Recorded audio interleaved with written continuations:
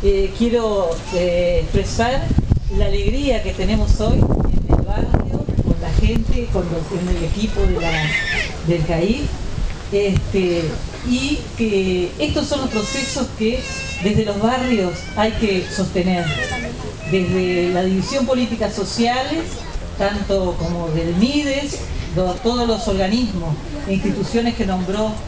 la compañera aquí, este, y yo, eh, es cortito lo que quiero decir, es un saludo de la directora del Departamento de Desarrollo Social, María Sara Rivero, eh, de la coordinadora del eh, proyecto Nuestros Niños, de la, la, Secretaría de Infancia de la Intendencia, y de Ana Ceruti, que es este, nuestra asesora pedagógica. Este, ellas este, no, tuvimos que dividirnos porque hay, por suerte, mucha actividad.